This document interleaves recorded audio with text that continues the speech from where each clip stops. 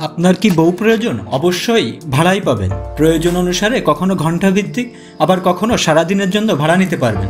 শুধু বউ কেন? ছোট ছোট শিশু চান, হাঁস মুরগি কিংবা গরু, ছাগল? তার মিলবে এ গ্রামে, গাজীপুর সিটি কর্পোরেশনের ভাদুন ও তার আশেপাশের কয়েকটি গ্রামে আপনি নাটক বা সিনেমার শুটিংয়ের জন্য সব কিছু ভাড়াই পেয়ে যাবেন।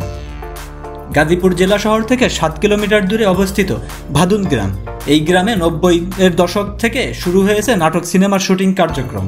এই গ্রামটিকে বলা হয়ে থাকে চলচ্চিত্র শিল্পীদের আবাসভূমি।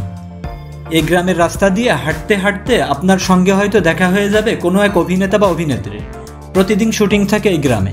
ভাদুন গ্রামে রয়েছে মেঘলা আকাশ ভিলা, ঐশী, শুটিং বিল ভিলা, হাসনেহেনা, শাহিনের বাড়ি, আপন ভুবন, কৃষ্ণচূড়া সহ অজস্র শুটিং স্পট।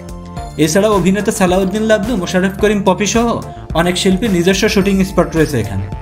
নাটক বা সিনেমার শুটিংয়ের প্রয়োজনে যা কিছু প্রয়োজন সব কিছুই ভাড়ায় পাওয়া যায় গ্রামে।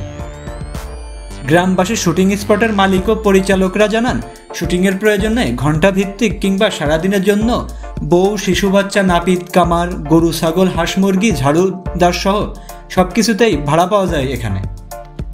সালাউদ্দিন লাবলু পরিচালিত হালকিপটা শাকিন সারিসুরি, গরু চোর পত্রমিতালি কলেজ স্টুডেন্ট ঢলের বাদ্য, ঘর কুটুম, আলতা সুন্দরী ওয়ারেন্ট নাটকগুলো প্রচারিত হবার পর ব্যাপকভাবে গ্রামের নাটক দর্শক প্রিয়তা পায়। নির্মাতারা ভাদুনে যেতে শুরু করেন। এ বিষয়ে সালাউদ্দিন লাবলু বলেন, দুই হাজার সাত সালে ছিল মাত্র একটি শুটিং বাড়ি। এখন ভাদুনেই সক্রিয় আছে নয়টি শুটিং বাড়ি।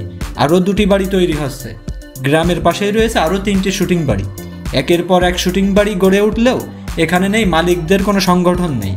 শুটিংয়ের তেমন ধরা বাঁধা নিয়ম নীতির বালাই। তো বন্ধুরা, ভিডিওটি নিয়ে আপনাদের মন্তব্য জানিয়ে দিন কমেন্ট বক্সে। আর আমাদের চ্যানেলে নতুন হলে সাবস্ক্রাইব করুন। ধন্যবাদ সবাইকে।